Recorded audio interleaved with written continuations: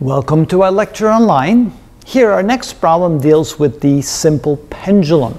And it turns out that this problem is uncharacteristically simple for a JEE main test question. It's kind of a nice relief because sometimes they're not like that. So you could probably save time on this one that you'll probably need on the next one. So let's read the problem together.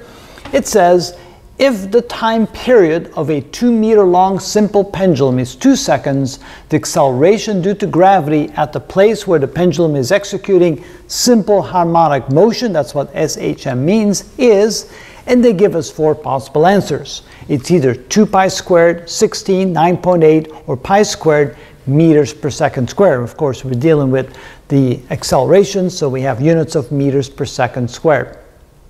So, what we're going to do is we're going to write the equation of a pendulum.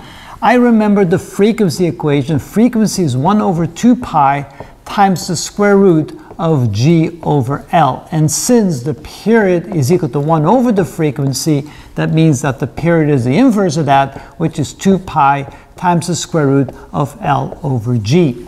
That way, I only have to remember two out of the three equations. Now, plugging in what we know, well, first of all, before we do that, uh, we're looking for g, so now we have to solve that equation for g. So we square both sides. t squared equals 4 pi squared times L over g, or g is equal to 4 pi squared L over the period squared. And now all we have to do is plug in some numbers. So we have 4 pi squared times L. L is 2 meters, so we plug in 2 divided by t, the period, which is 2 seconds, so we have 2 squared.